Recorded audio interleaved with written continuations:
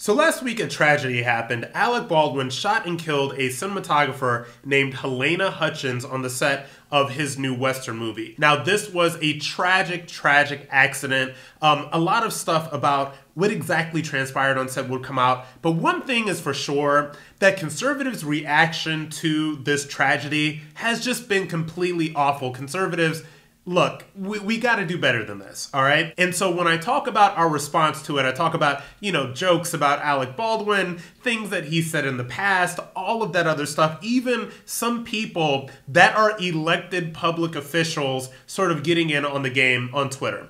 And look, I don't care about Alec Baldwin because this is not about Alec Baldwin. Alec Baldwin is a terrible, terrible individual and a terrible, terrible human being. This person um, has gotten into scuffles with photographers. He's used the F word. Not only um, that, but he has so much to say about Trump and MAGA supporters. God, he called us uh, maggots. He called anybody that voted for Donald Trump, you know, enemies of the people. We're evil. We're dog crap. We're all of these other things. That doesn't matter because here's the thing we know that Alec Baldwin is a horrible person. We know that he's an awful person. In fact, we know that if the shoe was on the other foot, the left would gleefully dance on the grave of any conservative um, that was involved in such a tragedy like this. So I think of say for example if it were kristy swanson and let's say um, stephen baldwin or antonio sabato jr any conservative actors on a set and this tragedy happened, Alec Baldwin would be the first person leading the charge to dance on the grave and to throw dirt at conservatives and to do all of these things.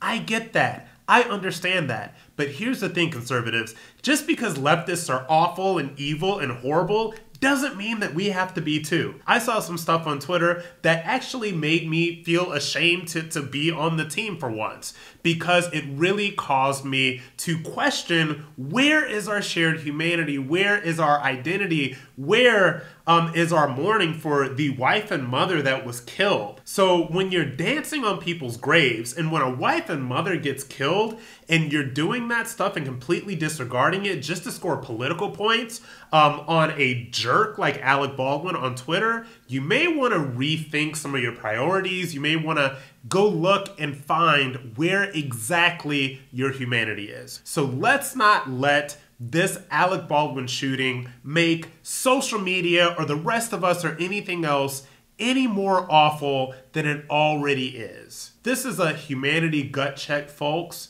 and the vast majority of conservatives I noticed failed.